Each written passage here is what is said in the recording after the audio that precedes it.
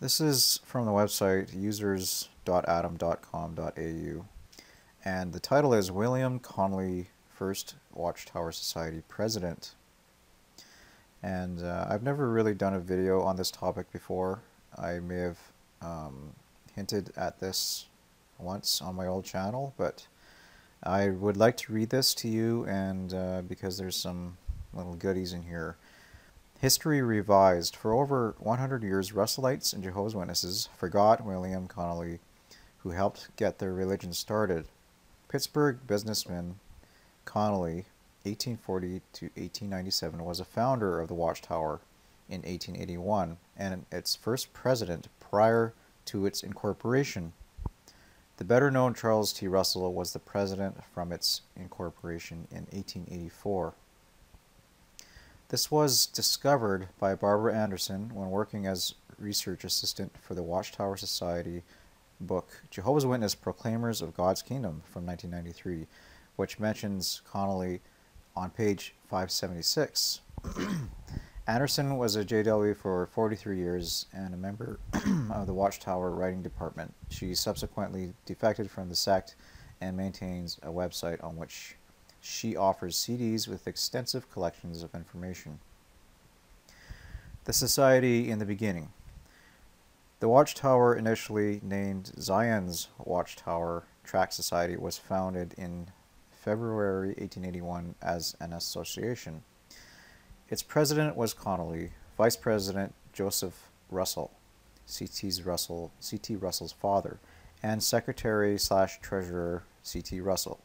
Conley donated $3,500 of the original 5,000 capital, Joseph Russell 1,000 and C.T. Russell 500.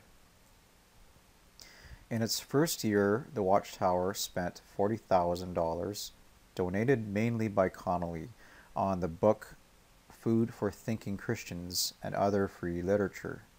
Conley and his wife, Sarah, were among the five original Bible students with which the Russell cult started in 1872-73. The other three were C.T. Russell, his sister Margaret, and their father Joseph Russell.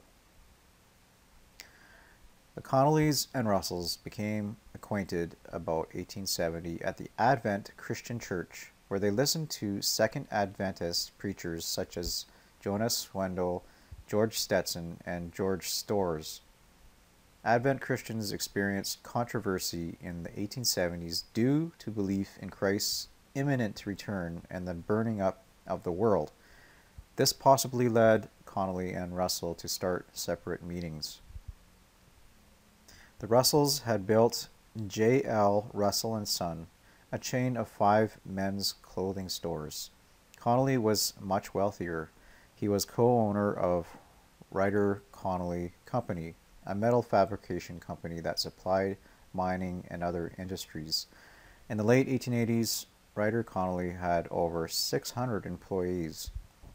In 1876, the Russell Conley sect amalgamated with some Second Adventists led by Nelson Barbour. Barbour's cult had predicted Christ's visible return for 1873, 1874, 1875, and then opted for an invisible return that occurred in 1874. This is the origin of the uh, Jehovah's Witness doctrine of Christ's invisible second coming, which until 1930 they placed in 1874 before transferring it to 1914. the combined Barbour slash Russell cult predicted the rapture for 1878 when the living saints would ascend physically to heaven. Some of them gathered in white robes on a bridge in Pittsburgh on Passover night, but the prophecy failed. A. H. McMillan, who became known as the grand old man of the JW movement, referred to this event in his Watchtower Society approved book, Faith on the March. He asked Russell about it, and Russell said, However, some of the more radical ones might have been there, but I was not. in 1879, Russell and Barbour separated. Russell started the magazine Zion's Watchtower and also predicted 1881 for the rapture. At this stage, Conley was still important in Russell's cult. In 1880 and 81, the Allegheny City venue for the annual remembrance of Christ's death was Conley's home. From Zion's Watchtower, April 1881, page 208. But in 1882, the venue was the home of Joseph Russell. Another important split up occurred in 1882. Barbour's former co editor, John H. Paton, had sided with the Russell faction in 1879 but split from Russell in 1882. The reasons were Russell's false prophecy for 1881, Paton's belief in universal salvation, which Russell called heresy, the Trinity doctrine, which Russell rejected in 1882, the ascent of the living saints to heaven, which Paton placed near 1914, but Russell still awaited sooner. Conley's loyalties also changed. In 1882, he stopped giving large donations to Russell and his name stopped appearing in Zion's Watchtower. In 1884, Russell incorporated the society to more effectively handle legal and financial matters, and Conley disappeared as president. Conley joined the Presbyterian Church, which believes in the Trinity and conscious eternal punishment for the wicked.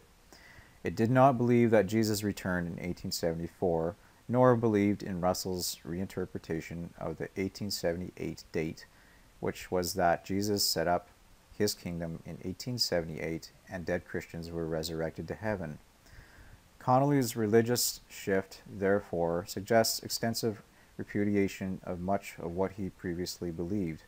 Apparently, he also accepted Lutheran beliefs since the book Theocratic Kingdom by Lutheran minister George N. H. Peters included an acknowledgement of financial assistance from Conley. Later, Conley also supported an orphanage, school, and hospital in Pittsburgh, sponsored religious conventions, and organized and funded a Christian mission in Jerusalem. A letter from Conley in Zion's Watchtower, 1894, supported Russell when a further rift occurred and four elders tried to remove Russell from power. Zion's Watchtower introduced the letter by presenting Conley as a member of the early Allegheny Bible class, without disclosing that he was the Society's first president. And if you want to pause it, you can read that. Conley's death was not announced in Zion's Watchtower, although the deaths of Stetson and Storrs and Joseph Russell merited notices.